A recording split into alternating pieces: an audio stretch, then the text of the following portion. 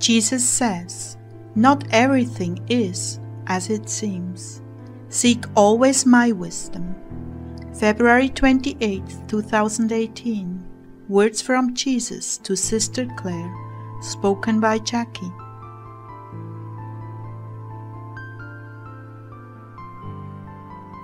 Jesus began, I would not have you to be ignorant of the spiritual dynamics you are dealing with. There truly is great warfare going on all around you. The angels are quite busy taking care of everything that pertains to you, Clare.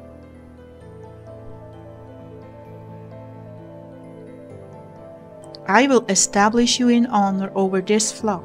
I have chosen you to lead and will not abandon you. Clare, the wisdom I endow you with will reach out to others and bless them.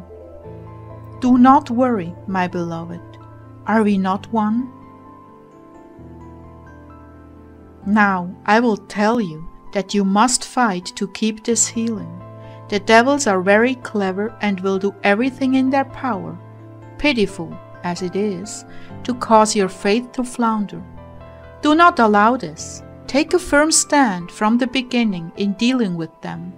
Don't give them any room to cause compromise. Be steadfast and firm. Do not give way to any suggestion that says he is not healed. I have indeed heard your cry, my beloved. I have indeed healed him. Rest in this, but you will have to fight for it. You are under attack in many different ways, Clare. It is, as you said, a delicate balance in showing hospitality and still being faithful to those who are awaiting a word from me. Yet may I say to you all, heart dwellers, I have called and equipped you through this channel to be getting your own words every day.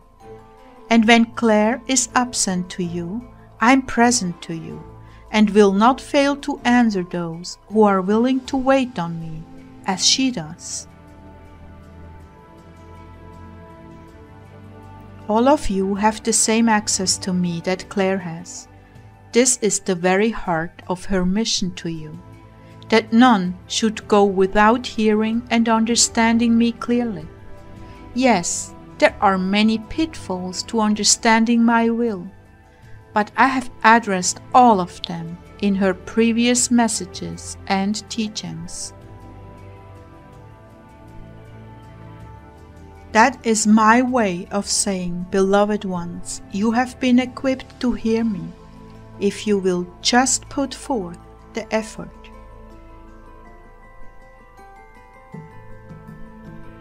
But what I'm wanting to stress to all of you right now is that there is a particularly intense battle going on to steal from you your very special destinies and missions. The enemy has launched an all out effort to deprive you of your callings. The distractions and tactics will come in many different forms, and forewarned is forearmed. Not all that seems bad is bad. Not all that seems good is good. Each thing must be discerned on an individual basis. This is at the heart of following me faithfully and living in my divine will. Constant attentiveness and discernment are necessary to navigate these shark infested waters. For those of you who play chess, you know that all is not as it appears to be. There are constant hidden factors in each event, and only your paying close attention to me will forewarn you of the hidden implications and traps. I have attended to each of you with great care, teaching you sensitivity when danger is in the air. I have taught you also how to interpret the times and movements of my heart, to look at the small details, but keep in mind the greater picture, because your enemy knows well how to play on your vulnerabilities. But this is also a new season, a time of new tactics, unseen in your lives before. As you become more and more attuned to the movements of the enemy, the adversary is training them in different ways to defeat you. Therefore, you must be on guard constantly, thoroughly discerning each event on its own merits or demerits.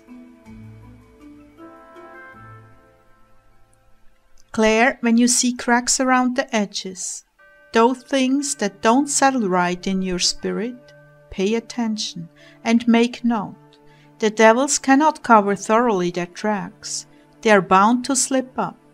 And when I draw your attention to something, there is a reason for it. Make note. Do not discredit your observation or write it off out of charity. Take note and wait on me for further revelation. Now you know what I'm referring to, do you not?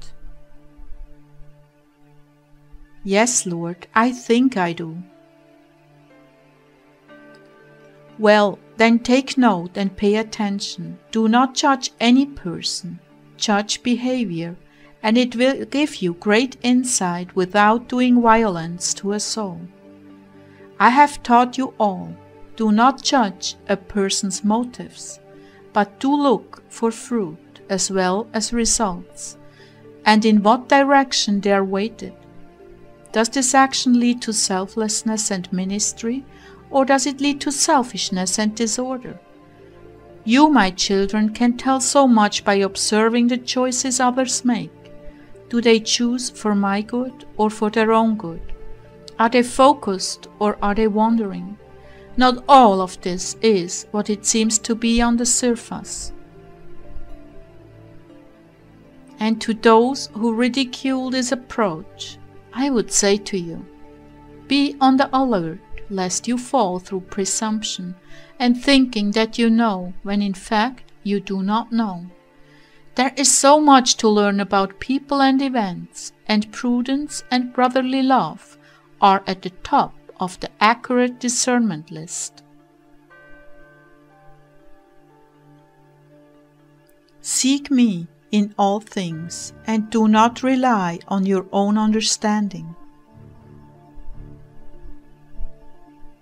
I love you, my brides. I am bringing you to maturity. Walk humbly and cautiously through the days ahead. Cleave to me and seek my wisdom always.